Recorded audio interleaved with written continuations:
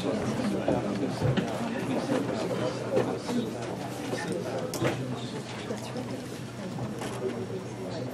on the record. Just your score, next witness. Want to call Officer Dave Shields? Call Dave Shields. Safety seats. Good morning. Raise your right hand, please. You swear or affirm that the testimony you're about to give will be the truth, the whole truth, and nothing but the truth. State your name for the record. David Kenneth Shields. Morning, Mr. Shields. Morning. Thank you uh, for coming out. Are you a Floridian, Florida resident? Yes, sir. And in which county do you reside? Twenty. And are you within the city limit? Yes, sir. And how long have you resided in Suwannee County? Six years. And have you, how long have you resided in Florida? My entire life. Married? Yes, sir. Do you have children? I do. And uh, your children work with you in Suwannee County? They do. And what is your occupation, sir? Um, My occupation is uh, kind of a mixed bag.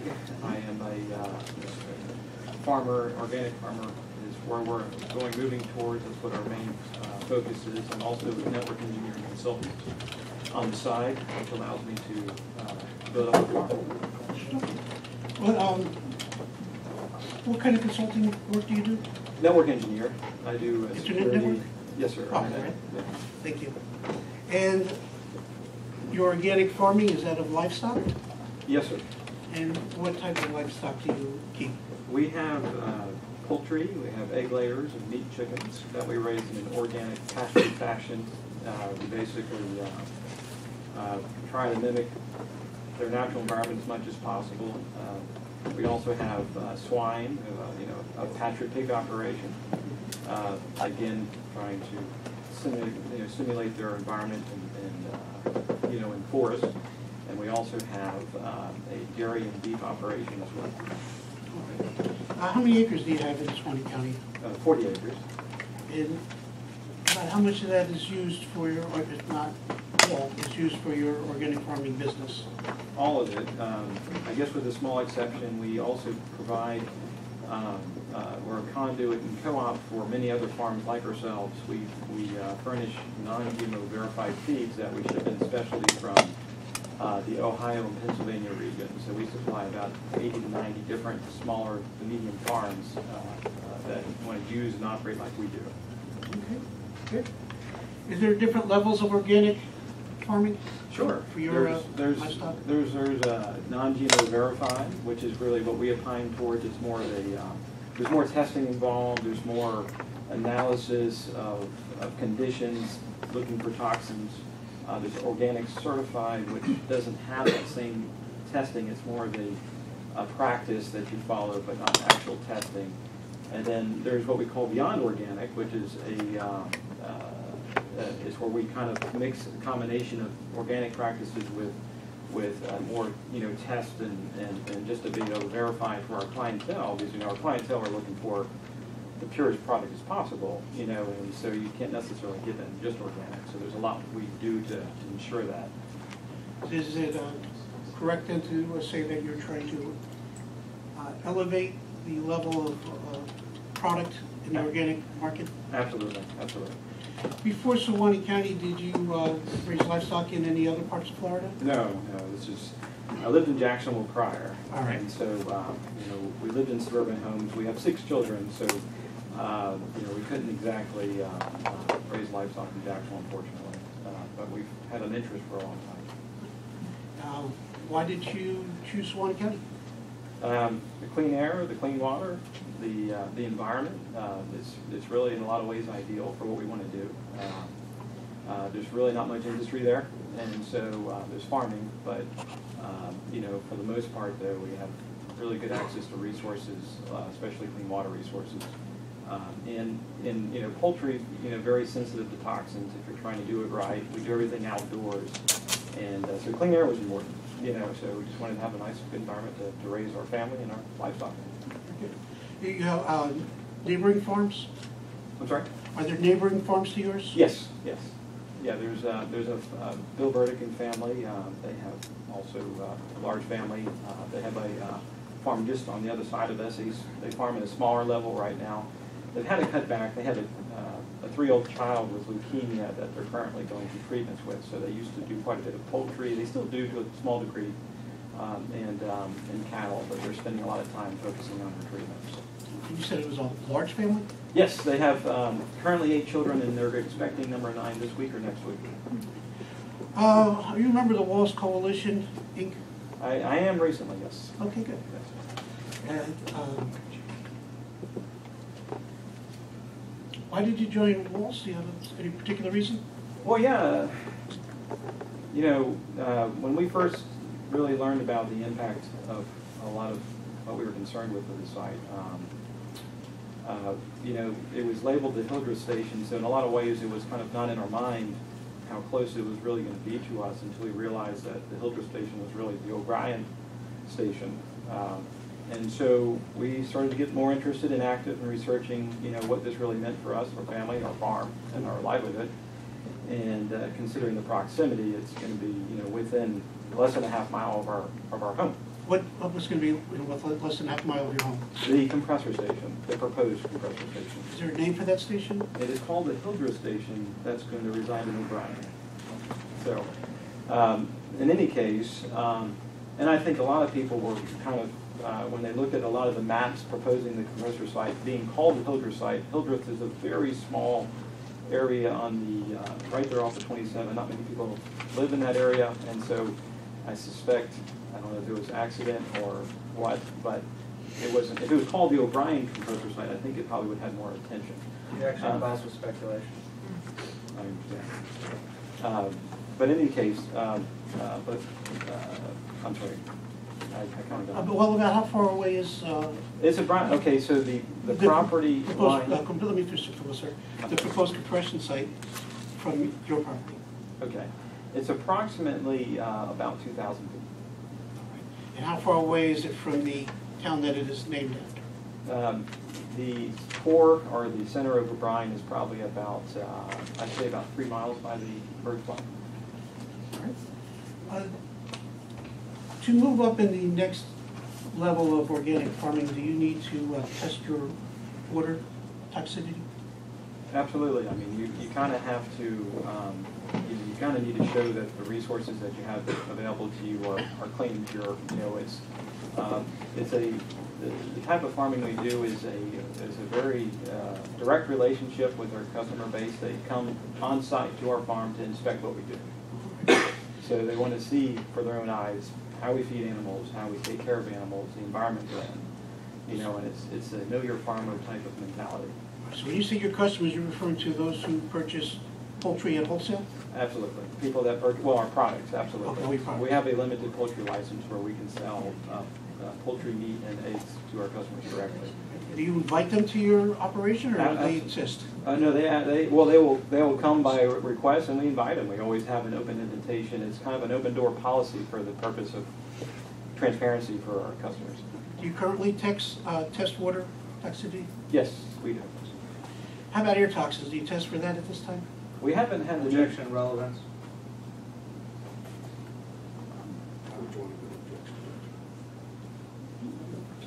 It's not an issue in this proceeding. And, and actually, Your Honor, it- I mean, I let the questioning go for a bit to see if he was gonna get back to, to the pipeline, but there's nothing in the petition challenging the ancillary structures such as the compressor station. The material facts in dispute and the ultimate uh, issues of fact that are in the petition all relate to the pipeline, not facilities. You know, they're uh, inseparable. Yeah, I'll overrule that.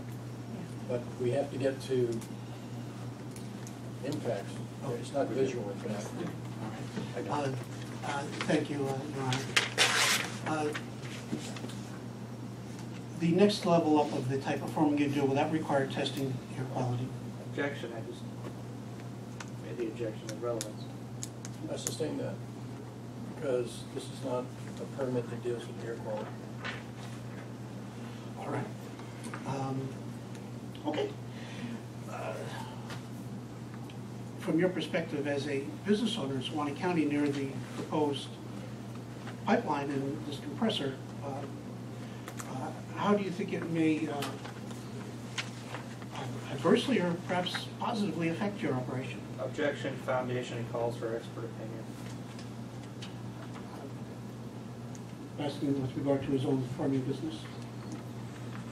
He's thinking of, wants a water quality opinion. Uh, We uh, move past the water quality question. Your Honor, if I may, uh, Well, I I said earlier, yesterday, that it's not concerns that are relevant. It's actual impacts. So that generally has to be established by an expert witness. A non-expert can tell you all day long about their concerns, but they can't establish that these concerns will actually come in, you know, the actual harm they're concerned about will actually occur. You know, it's the expert that has to show that that will happen. So at this point, though, I feel like you gotta answer the question about your concerns, because I don't even know the connection yet between his use. um, You know, I don't know where, how it's gonna be tied together. If it's not gonna be air, is it a well? You know, what is it? What is it? we're with the talking about? compression station, I believe, is, is what proximity to your land? It's two thousand feet. Two thousand feet. The, um, Is, You're concerned about a, uh, a, well, a spill? well, Your Honor, if, if I may elaborate, um, I just, I'm looking at you and I'm asking, are you Okay. concerned about a spill? I'm concerned about emissions. Uh, uh, Our big part of our business is poultry. Poultry, kind of like the analogy of the canary in the mine, is a very sensitive animal to air emissions. And uh, the site is scheduled to have a 20,500 horsepower uh, turbine uh, engine driven by the the, uh, gas on the line. And uh, there are initial studies, which I believe one is an exhibit, that indicate uh, that there is significant concern uh, residences within a mile of these sites uh, can experience issues with air toxicity. Your Honor, I would just simply note that Sabal Trail has already applied for and obtained a final air permit, and there were no challenges. Yeah, there's more than one permit involved in this uh, process, I mean, for this pipeline project. And this permit doesn't involve the air emissions. And the question about whether the air emissions are harmful, meet requirements, is it, would have been in a different form. With regard to the, uh, that horsepower rating you gave, Yes.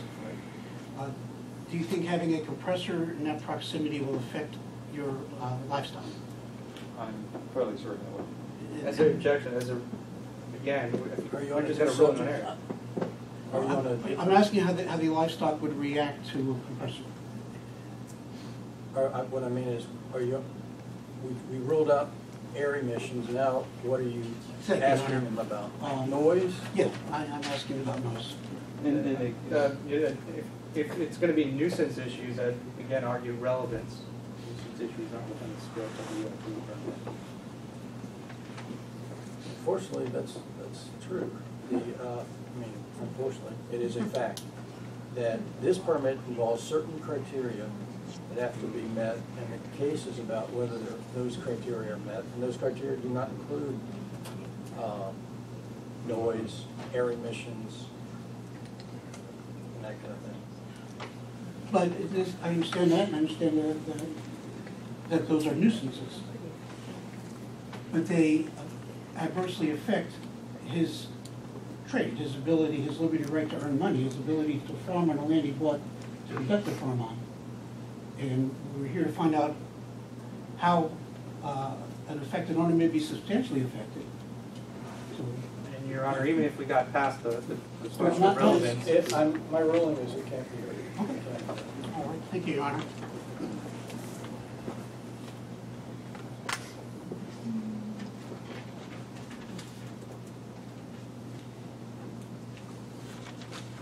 Did you purchase your farmland?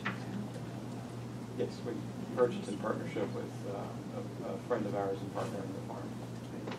Did you uh, have to erect buildings and structures, or were they already there? There was, it was extremely uh, uh, well, typical Florida highland, there was nothing there. That's why we bought it, it was fallow, you know, we didn't want anything that had been previously farmed. So in addition to the purchase of the land, did you purchase any improvements? Uh, Yes, yes, we sure did. Uh, We purchased a home and uh, we've built structures for support of our farming o- uh, operation. Have you re, uh, ever to return on that investment yet? We're beginning to have a return on that investment, yes. I have uh, nothing further for Mr. Shields, Your Honor. Just two questions, Your Honor. You said you recently became a member of WWALS. How recently? As of this month. This month? Yes, sir. So the last. Probably two to three weeks. It was the, it was the Lake City FERC meeting that I saw John give testimony about the project and about this organization. And uh, I didn't realize a group like that existed until then, so I became a member. So you joined months after the petition and this proceeding was filed. Yes, sir. And do you pay membership dues? I do. And what do you pay? We pay one hundred a year. And how long is your membership good for? One year. You said uh, the compressor station was two thousand feet for your property. Is that an estimate that you made? No, that's, that's, it's probably likely less than that. If you go from the property line of the, of the parcels purchased to the property line, uh, we're separated by about fourteen hundred feet, property line to property line. That estimate, more of their property line to my front door. Thank you. No further questions? Judge, I don't have any. I, uh, You mentioned you heard uh, John's speech. Yes, sir. Uh, well, How, uh, in what way did that encourage you to join the West Coalition? Objection, Your Honor, Ralph's. Sustained. Uh, One last question, Mr. Shields, any sinkholes on your property? Yes. Objection, that's beyond my cross. Any what? Sinkholes. I'll allow it. There is, There's, yes. And there's, there's also a uh, sinkhole at the edge of the easement where the pipeline is to cross. all right, thank you. Nothing further. Any follow-up? No, Your Honor. Thanks, sir, you may. Thank you.